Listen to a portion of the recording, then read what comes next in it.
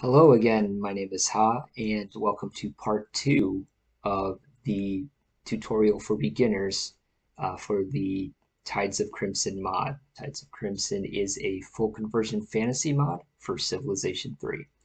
Alright, so last time we left off, uh, we just built a new city and we were working on uh, getting a, a worker unit here so we can improve some of the land around here. One thing I didn't touch up on last time that I kind of wanted to touch on this time was uh, how units affect happiness in a city. So let's double click on the city to get into it. And you'll notice here that the grunt, which is a military unit, right? So he has uh, at least one defense. Um, he's a military unit, and anytime there's a military unit, uh, mo well, most of the time, you'll get this happy face here, right? So that that pretty much more of a content face, I guess.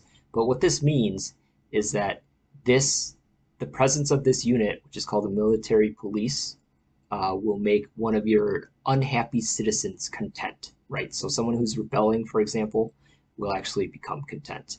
So uh, depending on your difficulty level, uh, our difficulty level is regent, right? So that means that our first three uh, citizens will be content, are born content, if you will. So one, two, three. So these are automatically going to be content for us. When that fourth citizen comes, right? So we, we grow enough so we get you know in, food in the box here. So we have four citizens. That citizen's automatically going to be unhappy. Okay, it's going to start off unhappy, and at that point we're going to have an imbalance, right? Because we'll have uh, unhappiness in our city and uh, we won't have another happy citizen to kind of balance that out. So, uh, but what this military police does is because of this little content face here, he actually will make one unhappy citizen content. So when that we get that fourth citizen, when the city grows, this the presence of this military police here will actually keep that citizen content and keep the the city from um, going into civil unrest. Okay, so uh, depending on your sphere, uh, sphere is kind of like a government type uh, in, in Tides of Crimson. So depending on your sphere, you'll you'll have like a different military police limit. I believe right now with no sphere, our police military police limit is two. So the first two grunts or any military unit really um, here will help uh, you know turn an unhappy citizen into a content citizen. Uh, the third one in here, if we have a third uh, unit, will have no effect under our current sphere, right? So if you want to learn more about spheres, you can just go into the Civilopedia here. You can click on spheres. And right now we start the game, everybody starts the game really at no sphere, right? Because we don't have a sphere yet. And you can see right here, the military police limit is two. So that's what that means, okay? There's other attributes in here and, and we can go into that later um, or you could kind of explore on your own. But uh, just right now, military police limit two, and that's how we would know. All right. So you'll see here, this looks like a, an enemy unit. Well, technically uh, not, you know, we're not at war with anyone, but uh, definitely not our units. Uh, you can tell by the, the different color highlight here. Um, but you can right click, right? And um, you can see that it's a troll Weight Watcher. Okay, everybody starts the game with one Weight Watcher, and, and obviously we lost ours in uh, a tragic incident, but uh, the trolls still have theirs. So it looks like this troll here uh, unit is still rolling around. Uh, probably exploring. Um, you'll find that the AI kind of walks through your territory, and you can yell at them to not do so, but um, it's not automatic. Uh, but when you go into the AI territory, right, they'll yell at you. So um, not really fair, but you, I mean, you still get a chance to yell at them. Um, but there's times when they can just walk right through if you don't say anything. And I'm guessing this guy's just going to probably walk right through our territory here. Yep, that's what I thought. What a jerk. All right. And he's gone. Wonder what he was looking for you know, probably some berries or something like that. Didn't find any. Okay, so here's a different looking unit. So again, I'm just right clicking here anytime I see something like that. This is the Dark Elves, okay? And this is an aggro. And if I don't know what an aggro is, right, I can just click on this and it'll describe that to me, right? So uh, this unit can summon a colonizer, right? Um, so summoning, um, this was mentioned before, but units that can summon uh, actually have, if you click on it here, it describes it for you, actually have a one-third chance of creating another unit when they are victorious in battle, right? So there's a one in three chance that if this unit wins a battle, this colonizer will be produced, right? And summoned units are free, meaning they don't cost any maintenance to uh, kind of, uh, you know, sustain uh, their services. So they're really valuable. And maintenance and things like that, we'll, we'll go through that in a bit. So if you don't you don't want you don't know what that is, don't worry yet. All right. Okay. On the next turn here, uh, looks like Malagrath is offering me, he's from the Dark Elves, he's offering me mining for 110 gold. But remember, this is not uh, the optimal deal for us. So uh, remember that trick that we learned earlier, uh, we can actually take this off here and go to lump sum and see how that the mod here will automatically uh, route this to 103 gold. So this is the lowest offer that Malagrath will actually accept. So, and I'll prove it to you here. So let's say we do 102 instead, right? Just give him 102 for the mining tech. He's going to deny us, right? It's 103 is the lowest token. Okay, so just do that. It automatically uh, does it for you. Thank you again, Flintlock, for the mod uh, that does that. And we're to just go ahead and accept this, uh, see if he's accepting this deal. And he will, of course.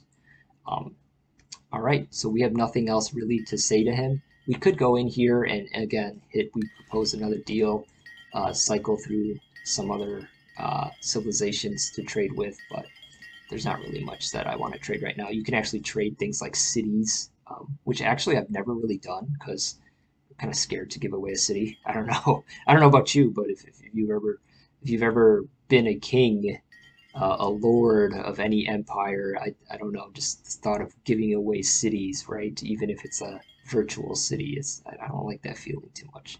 But um, you'll see here Malagrath has actually a lot of technologies that he can uh, trade to us, but we don't really have much we can trade back. And you see down here, we only have a, a little bit of gold I think it's uh, 37 gold. So not much we can really do here. Um, we're going to go ahead and exit. Okay, this guy's just running around.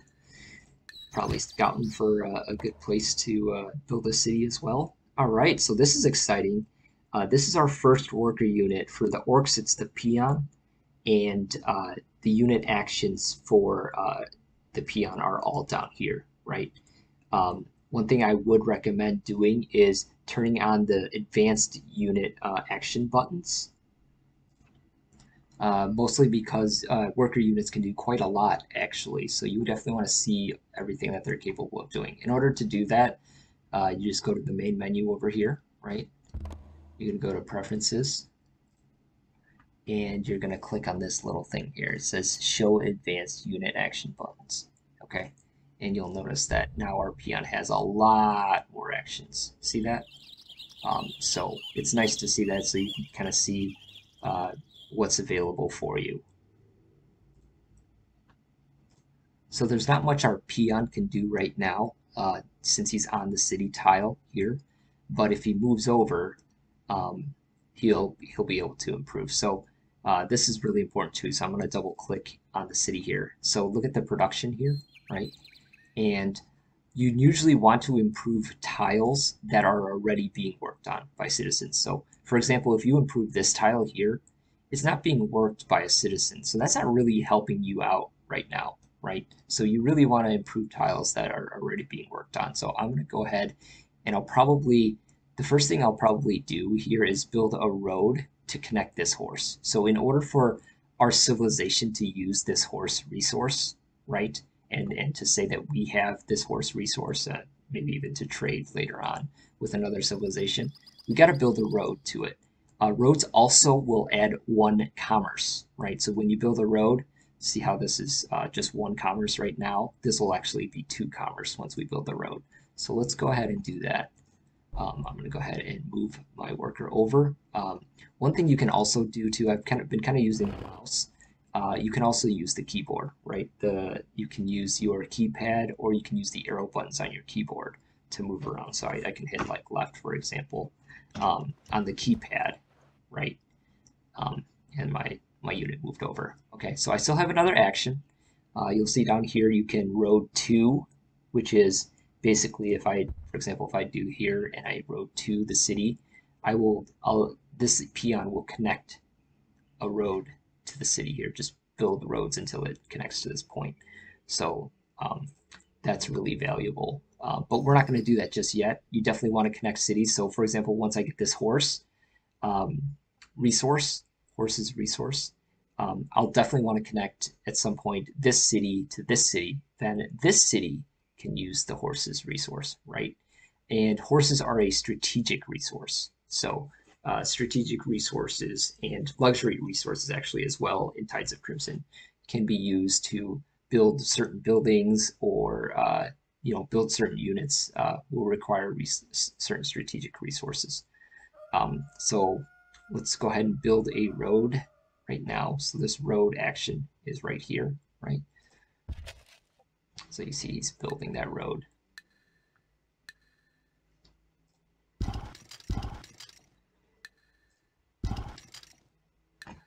And hopefully that won't take too long here. All right, so our peon just built a road and uh, this will allow us access to horses, okay?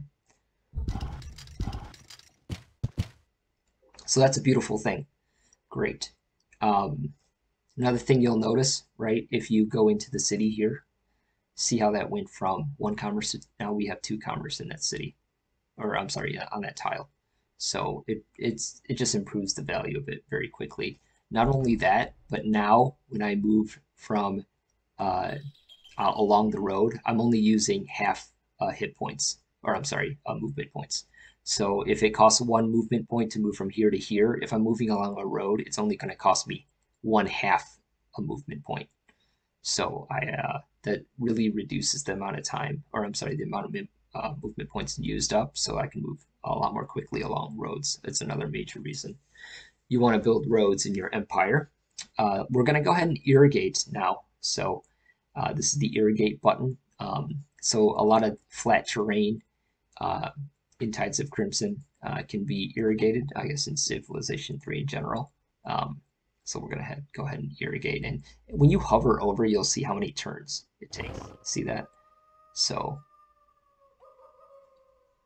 going go irrigate this. sounds like someone's hungry or something. I don't, I don't know. It sounds like a someone's stomach. I, I don't know what that was. I'm sure it was an enemy unit, but I, I, I didn't catch him in time.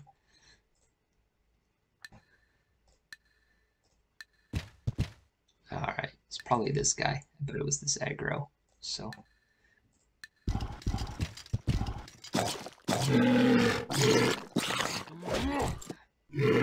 This is a Krog, right? This is a Krog just roaming around and see these are hostile, so he's just, looks like he just took out uh, another civilization's Weight Watcher. So these Krogs are getting a little crazy.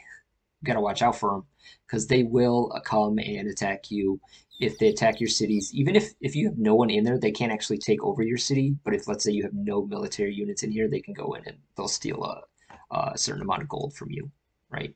And you always want gold because, uh, just real quick, uh, I don't think I've gone over this yet, but if your your gold starts to go negative, right, you'll start losing units or buildings every turn because those units or buildings require maintenance um, for the most part. So you don't want to be negative in gold. Not only that, the higher gold you have, you saw that we can trade with techs, uh, trade for techs using gold, but we can also, uh, depending on your sphere type, we can also uh, hurry units or buildings, right? So like um, this is the hurry production button.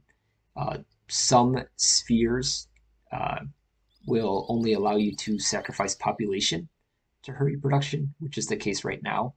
Um, but uh, you can also, uh, under other spheres, uh, hurry production with gold. So that'll be at a three to one ratio in Tides of Crimson. So um, three gold will get you one shield, essentially. If you're hurting production, it's at that rate. Okay.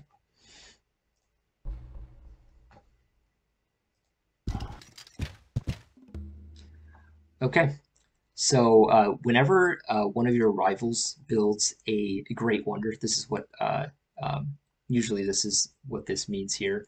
This is actually a um, a unique wonder, uh, but it, it just it's designated as a great wonder in this game. But uh, Sultan's Residence here, you can always see what it is. This link here, so uh, it looks like this is what they built here.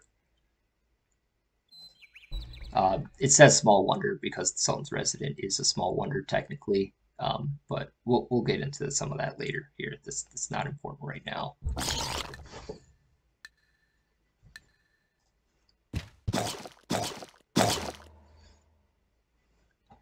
Okay, uh, we have our first military unit in our expansion uh, city, if you will. So remember how we queued up the pig farm? So now uh, construction on the pig farm has started already. So I'm going to go ahead and uh, fortify, right, because I want uh, this uh, military unit to guard the city. Um, I did want to go over some of these other action buttons, right? So you can also heal. So this will heal usually uh, really, I think it's about like two uh, hit points per turn um, in the city. It really depends on where you are. For example, if you're out in this neutral territory, you might heal less. Um, in enemy ter territory, you cannot heal at all until you build uh, Fort Redivarde, which is, uh, as you can see with the red dot, it's a small wonder. So if you right click on here, this allows you to heal an enemy territory. All right, so uh, this here, pretty self-explanatory. Wait, just kind of pretty much just skips the turn, but your unit will be active again. Fortify, uh, we went over that, but it makes your unit inactive, right? He's just there, and you won't have to give him any more commands in subsequent turns unless you activate him, right? So you can always reactivate a unit by right-clicking and then activating. So if we ever need to do that, that's that's how you'll do that. Uh, disband will actually uh, not only destroy your unit, but it also give you uh, shields, right? So uh, if you, for example, let's say we have absolutely no use for this unit, which obviously we do right now, but if we had absolutely no use for this unit, um, you can see that this grunt is uh, cost 48 shields. So if we disband him, uh, we're actually going to get back uh, a fourth of that, right? So uh, 12 shields. So if we just disband this grunt, we can put 12 shields towards this production box if we really wanted to, right? We're not going to do that right now because um, I don't want to lose the city just in case. All right, so we're going to go ahead and fortify. So you'll notice that I have another peon here, right, in construction um, in Orenai, right? Orenai is the name of my city here. Um, and uh, in one turn, this peon will be complete. So you see how what we mentioned earlier with the four population, um, you'll see that when this peon is produced, because he costs, if you right click here, costs one population, this population unit uh, point total will go down. So we'll lose the ability to work one of these tiles, right? So um, it's just the uh, the cost of, of building uh, settlers, workers, and also this is different in Tides of Crimson. Uh, higher tier units, right? Higher tier military units will also cost population points. So uh, that does not happen in the default Civ 3, but in Tides of Crimson, I uh, usually around tier 3, tier 4 units, um, they'll start requiring population points. So you really have to be careful about how many higher tier units you build. You can't just build you know massive stacks Um, or, well, if you you are doing that, you're, you're you're really blowing through a lot of population and losing the ability to produce in your city. So it's always something to think about. Um, that's why uh, a balanced force in Tides of Crimson is is you know it's beneficial. So you can have a bunch of units that don't don't require population points, and then you can have some strong units that do require population points. But um, there's always that um, interesting choice that uh, you're allowed to make. Okay. All right, so uh, you'll see here, so this peon here, right, is about to get done. We have four population here right now. And notice how as soon as that peon is created, we now have three population, right? That costs one population point. So we're going to go ahead and the next thing I want to do is I want to build the connection to the city. So not only will it allow me to move more quickly in between, it's going to add commerce to each tile um, that I'm moving to. But I also want to be smart about what tiles um, I build a road to, okay? So I'm most likely, these are really productive uh, um, tiles, right? So you see how there's extra shields with the Daiko mushrooms here. So I think it's probably best because I'm going to use these tiles anyway first. Uh, like citizens are going to work these tiles first anyway because they're that they have more resources on them. So you see how working this one with the Daiko mushrooms on them. Uh, so I want to build a road along here where um, I know these tiles are going to get used. So let's go ahead and build a road here.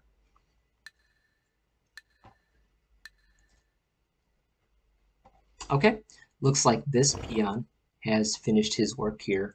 And now I have irrigation here. So if you double click here, see I went from two food to three food.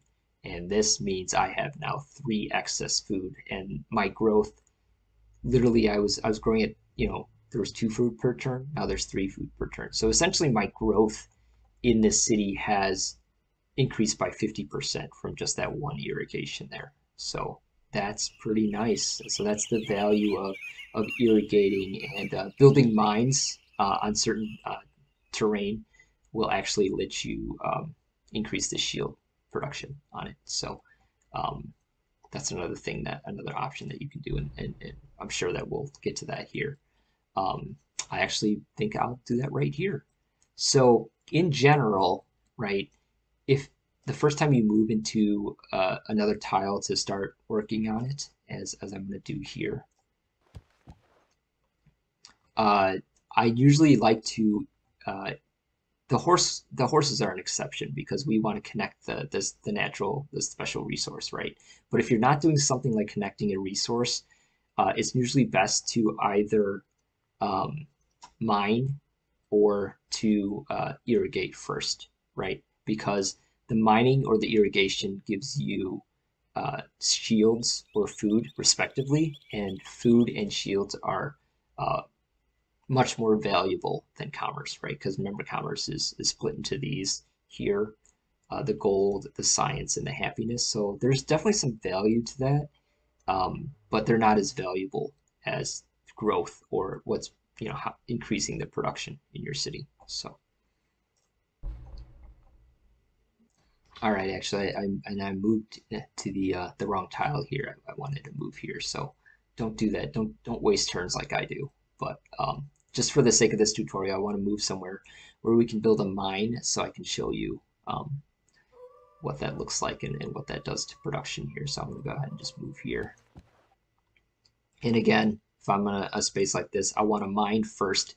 And usually you want to build a road, right? But I'll mine first and then I'll build the road second, right? Because the mine is more valuable. So uh, again, this is going to take me a little bit of time. Um, but I'm going to go ahead and do that. Okay, uh, looks like the road here has been completed. Uh, I wonder if I can just road to here. Yeah, that won't take the the peon off the path here. So I'm going to ask him to road to this tile here. So, okay, looks like we finally discovered inundation, which is great. Um, so let's look at the big picture. Uh, certain technologies, I think inundation is is really one of them. Uh, will usually be uh, like inundation. Usually, if you discover inundation first, um, usually the AI doesn't go for the inundation. And so what you can do is you can use this technology to turn around and trade it to, to all the other AI civilizations, right? Because they're unlikely to have a tech like this this early. So you can actually get a lot of techs back just by trading this technology to them. So we're going to do that here in a second. Um, the technology recommended is Woodworks here. And again, I'm going to right click and I'm just going to see uh, what's available to me um, here. Be careful that uh, this is hard coded, so I, I, I, wasn't able to change this, but you see how it says that units become available uh, from this tech, but uh, it lists uh, unique units to other races in here too. So for example, we're the orcs, right? We're not going to be able to build these because, um, well, the spearmen, I, I lied, the spearmen we can build, right? Because it's available to the orcs. But this nut trap, that's a hobbit unit, okay? So that's a hobbit unit. So we're not able to build that. So um, there's no way to really change that. Um, so uh, just, just be aware of it. All right, so we'll go ahead and we'll work on woodworks. But one thing we definitely want to do, like I was saying, is trade technologies. So we've got our pig farm, which is wonderful. Um, and this will really help with our culture. I'm going to zoom to that here real quick. So the pig farm here, right now it's built in the city. You'll see it's giving off two culture per turn. So we're getting two culture per turn here, and we're going to get up to the next level here relatively quickly, and we'll be able to expand to use all of these tiles here, um, which would be great. And then it also uh, is one content face. So what, again, what that means, this is the same faces here, right? So what that means is if there's an unhappy citizen in the city, this will make that citizen content. So now we have two. Uh, so basically we can get up to five citizens in the city right now while keeping everybody content. Okay. All right. And pretty soon here, um, I think we saw this already, but pretty soon here, you can see that uh, this will create a pig every 50 turns. So if you click on the pig here, right, uh, it'll always tell you what you know what this unit is, how what it does. Uh, domesticated animal. Give you a description of how to use it. Uh, I won't get too much into that, but it's uh, you really all you really have to do is um, essentially have uh, there will be a, a, join city button when the pig is created, and as soon as that uh, you hit that join city button uh, when the pig is created, um, it'll increase your population. So in a sense, that's kind of like slaughtering the pig uh, to get food for your your uh, city. Okay. All right. So let's go ahead and do what we said we would with the trading. Remember, diplomacy is down here, so it's this D here. I'm just gonna hit D, and let's start with the trolls. So I bet you we're gonna be able to trade inundation to some of these. So uh, some of these AI uh, folks. So, uh, yep, you see that inundation. So what I'd like to do as well, um, and you can do this, is put inundation on the table. And um, what would you like to trade me for them? For it, right? So I just asked him, this is a whopping, I mean, this is great. We're going to get two techs and 10 gold for inundation. I mean, this is quite a haul, right? so uh, I'm going to go ahead and accept that. But you see how valuable researching that one tech was. As long as you get a tech that the other races don't have yet, I mean, you can really turn around and and catch up in technology very quickly. So again, we're going to hit. We would like to propose a deal again, and we're just going to cycle, use these arrows to cycle through the other civilizations. Again, we're going to see inundation here. What what can you give me? Mathematics, done, done. Thank you. Um, all right. All right, so let's cycle again. Inundation. See, nobody has inundation, so we can just keep trading it away. Just 40 gold? Nah, I don't, I don't like that. What can I, what can I do to... I really want one of these technologies, so... Uh, see if he'll accept that. Oh, oops. He accepted it so quickly, I feel like I should have gotten more out of it. Uh, that sucks. Well, again, I'm a terrible player, so I didn't really uh, maximize that. But let's see who else we can trade this to. Okay, so again, um, inundation. 18 gold, that's a terrible deal. Let's see if he'll trade two technologies to me for this. Uh, I guess he won't. How much gold do I have? Lump sum. Again, if I hit lump sum, I should be able to... Oh, it's not giving me the option here.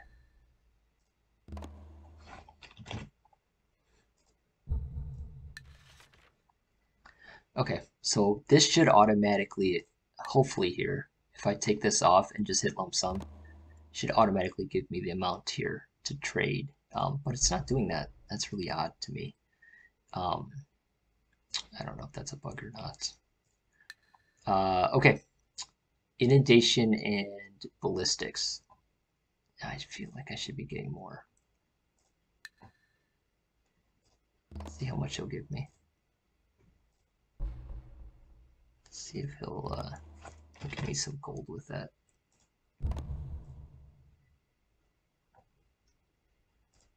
Oh, he doesn't have that much gold. This list is gold right there. So that's just me not reading. Okay, okay, okay. Whatever. I'll take that one technology. That was a lot of work for no reason. So don't do what I did. a lot of these video, this video here is uh, showing you what not to do by doing the things that I do. So, um, all right, so we're going through. Oh, look, the Dark Elves don't have ballistics. You like to trade something for that four gold? You gotta be kidding me. That's all they have. No, that's not. I, am sorry, that's not worth it. Um. All right, I think I'm done. So you see how better, if I go back to my tech tree here, right? See how much more filled out? See the blue here? My tech tree is just from that trading, just because I happened to research a technology that no one else had. So if you you're really good in teching or you, you get really fast, uh, you can reach certain techs first and then you can just start trading them away. So it's it's a nice strategy here. Um, I think I want to go for this here, uh, Orcish Honor now. Um, just bear in mind when you're going for these uh, race specific texts, just remember that uh, this will put you behind in the tech race slightly, right? Because all these other techs are uh, technologies are, are things that every race can research, right? But every race cannot research this. Only the orcs can do this. So when you research this, other other civilizations, yeah, they might be researching their own unique techs, but if they're not, then they're they're going to be getting an extra tech over here while you're researching this. So it's kind of the trade-off of, of some of these unique techs. Um, one thing I did want to point out to you, you see these little uh, like unavailable uh, markers. So this just means that this technology is not required for era advancement, right? So anytime you see one of these, is it's not required to get to the next era. See if you click this button here, you go to the next era, which is the alchemy era. See all these new techs and stuff. But so basically, what this is saying is, and again, unique unique uh, techs are never uh, required, but all you got to do is research all the texts that don't have this, right? So I got to research this stuff. And then I can go, or these texts here, and then I can go into the next era, okay?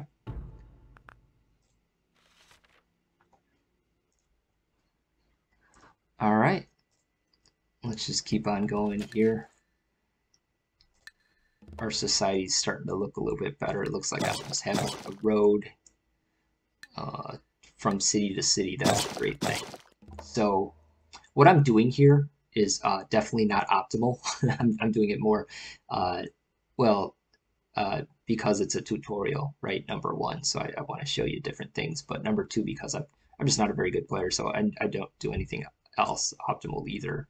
But really, your focus at the beginning of the game should really be uh, getting settlers out as much as possible, settler units to to go and build cities, right? Because city, cities are so valuable look at all this free land here. So once you, you it's like a land grab race, right? So once you grab this land, no one else can have it unless they take it from you by force. And But the same thing for the AI, right? If they start expanding into some of this territory here, they're going to get some valuable cities that we're not going to be able to have. So um, really you should, uh, when you can and you can afford it uh, population-wise as well, um, you should try to build some settlers. So we're going to go ahead and build some a settler here. Um, and here, now we're still building a grunt. Um, we're going to switch to, uh, real quick here, now that I'm looking at it here, I just want to go over this real quick. Uh, so you'll see how anything underneath the wealth line, so wealth, this is just basically an idle state for your uh, city, right? So anytime you don't want to produce anything, you just hit this wealth button. Um, you'll actually lose the shields as well. So whatever you're producing here, um, that's fine. This is a this is a tutorial. I just want to show you what it looks like. Um, okay, so this is wealth, and you'll actually produce uh, gold here at a, uh, a I'm sorry, you yeah at a four to one uh, ratio based on your shields. So, for example, for every uh, four shields you have, it'll turn into one gold.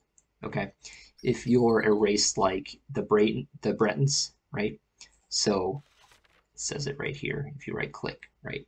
So you'll get a four to one ratio. This is cut in half if you're a, a different race, right? The Bretons here. So, but everyone else four to one ratio. So basically, just means you don't want to build anything, you don't want to control anything. You just don't want, but you don't want the city to keep pumping out units or buildings that will cost you maintenance uh, later on. So uh, anything underneath this wealth line is going to be um, either a small or a great wonder, right? So um, you'll see here anything underneath the wealth line, anything without the red dot is a great wonder.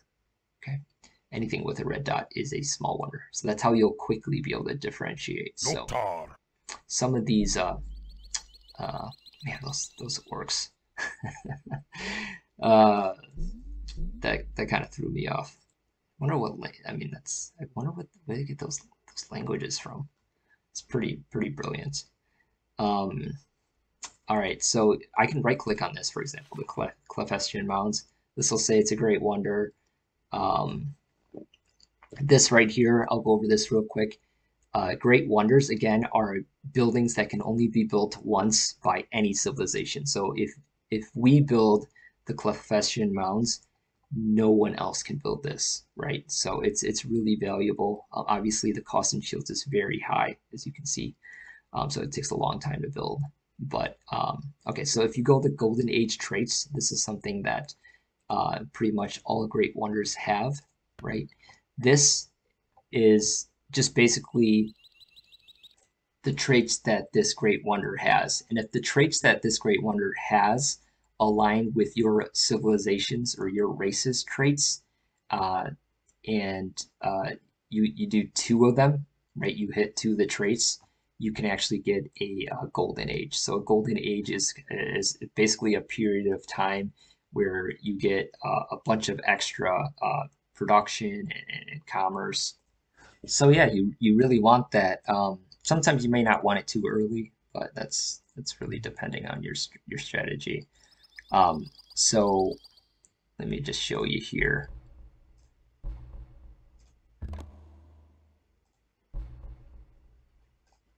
So if we look at our own um, our own race, right, essentially, so got a races, uh, orcs. The orcs are, if you look at the strengths, right, here, the orcs are militaristic and religious, right?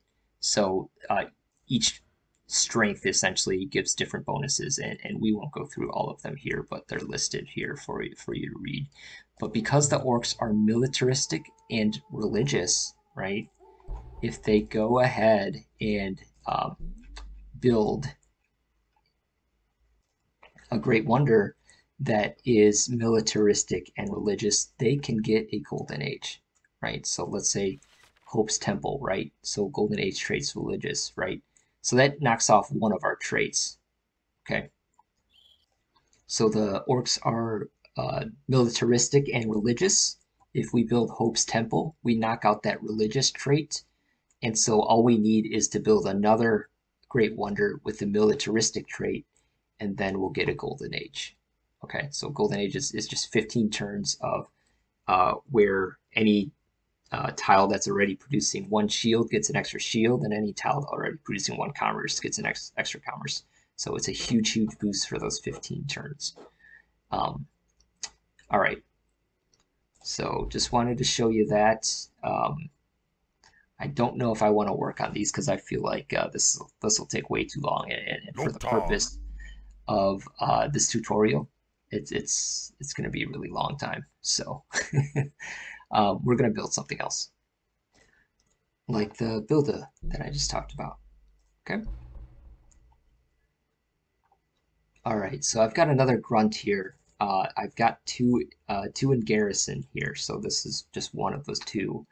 Um, and I'm I really want to know what's around me, so I, I I'm gonna walk maybe walk him around. Another option you have, right, is to hit this explore button, and your unit will automatically explore.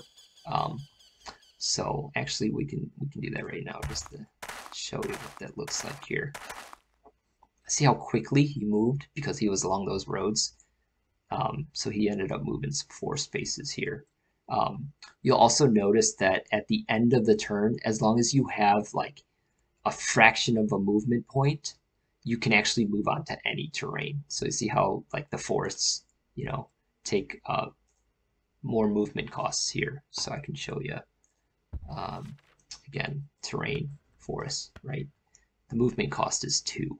So it, it costs two movement to move uh, onto a, a forest tile. But as long as this this orc at this time, right, he only had a fraction of a movement point. But because it was his very last move, he was able to move onto the forest. So your your very last move, as long as you have uh, at least a fraction of a movement point, you can move onto pretty much any tile. But then you, your your turn will be done after that. So uh, keep that in mind when you're, you're kind of moving units around. All right, our peon is done building the road here. You'll notice that uh, there's a Krog up here. So if he gets anywhere near uh, the peon here, uh, we might be in trouble, we might not. Luckily for the orcs, again, uh, the peon has uh, four defense, which is really good for a, worker unit. Uh, most worker units do not have much defense, if any. So we can still kind of defend ourselves here, but we, we still don't want to get, I, I really don't want to get attacked by a Krog just in case. Um, but I do want to use this, um, this peon here to, I'm, I'm, thinking this would be a good city site over here. So um, eventually, if we want to have this as a city site, eventually we're going to need a road to it. So maybe I'm going to start on that right now and also build a connection to to this resource here, which is the uh, Agati crystals. Um, so uh, go ahead and yeah, I think I'm just gonna move here and we'll start on that road. Okay.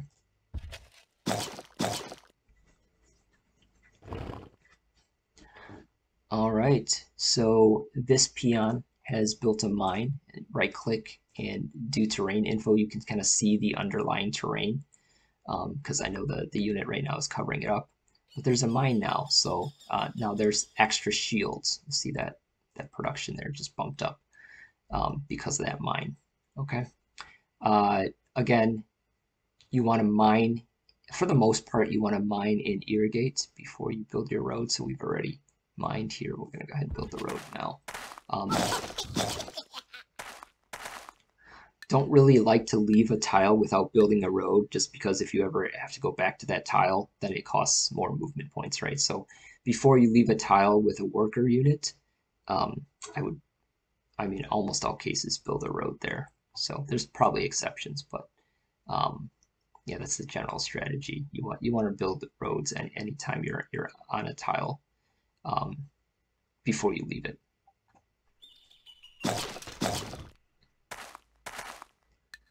All right. Looks like our um, grunt here is really opening up some some visibility to us here. It's, spotting a Krog over here. Um, looks like there's a city over here. Uh, Lizardman City. Okay, interesting.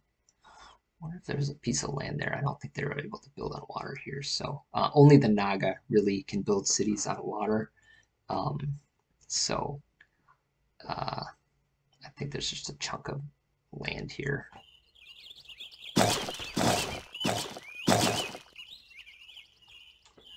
All right. Um, one thing I want to do just just to show you uh, what it what it is is uh, plant a forest, right? So if you see flat terrain like this, notice how um, here this is flat terrain. Production is you know you're more focused on food, um, but if you want to get some of this blue, these shields, right? Uh, it's probably a good idea to build if if your uh, city is lacking in production, right? then you can plant a forest, and that really helps a lot. So let me just plant a forest here, just to show you um, the the production um, boost that that gives. And again, that would be analogous to a lot of these other forests here, right? See how that's one food, two shields. So that's pretty much what we're hoping for. Um, I'm going to reset this. Okay. All right, there's a Krog underneath me. So when your units are set to automatically do something such as explore or build a road to somewhere, if they run into something hostile, right? So for example, this this Krog right here, they're gonna stop and you, they're gonna make uh, basically the game makes you give them the, give the unit a command because now a decision has to be made, right? There's something hostile nearby. So I'm actually going to, this is flat land, land unlike the last time I attacked a Krog, right? Um, so the defense is four, okay? I think I'm gonna go ahead and uh, just attack here because my my offense with the grunt and the extra hit point is I'm, I'm pretty good. The grunts are, are really good units early on. So see how that's the attack is six here. So a six into four, um, if I didn't explain this earlier, so uh, six attack, four defense, right? Six plus four is 10. So that's the total, right? So basically we have a uh, six divided by 10 chance. So a 60% chance of winning uh, each individual kind of uh, battle with this Krog. So I think we've got a really good chance here. We're going to just go ahead and attack them.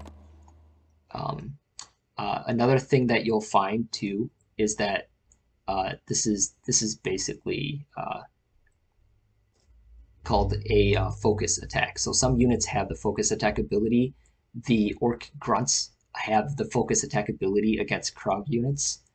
Um, so that's pretty neat. So they, for example, it doesn't matter too much here because we have, have two full health Troglos. But for example, let's say that one of these Troglos was low in health, right? We could focus our energies on that Troglo instead of uh, the other uh, Troglo with higher health and, and try to get rid and make sure that we kill the, the, the weakened Troglo. Okay, so um, if there's multiple units in a stack, uh, the unit that defends is always going to be kind of the highest defend defensive, uh, you know, efficiency unit. So it could be the unit with the highest uh, defense value, but if that, you know, a unit with a high defense value gets really low in hit points, then another unit's going to start defending um, when you start attacking the stack. So it's always the, the highest defensive efficiency unit that, that kind of takes over and defends. But when you focus attack, you can kind of choose. So that's that's kind of the value of focus attacks. Um, when you get into this is Tides of Crimson specific. When you get into uh, elemental units, because there'll be elements like fire, ice, uh, wind, things like that, uh, you'll actually be able to create mismatches with elements to to create focus attacks, which is can be really valuable. All right, so let's attack here.